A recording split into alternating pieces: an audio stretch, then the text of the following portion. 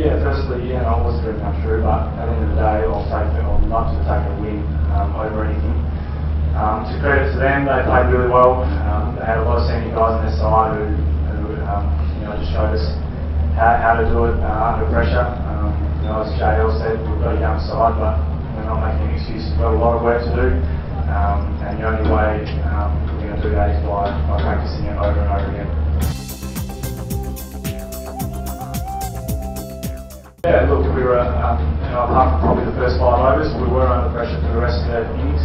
Um, you know, with the crowd and everything like that. That's something that I suppose as a young group we'll get better at. Better at. Um, with more opportunity and more experience, um, you know, I think we will, we will become better at that. But as I said, yeah, in the 2020 game, 2020, there's a lot of pressure.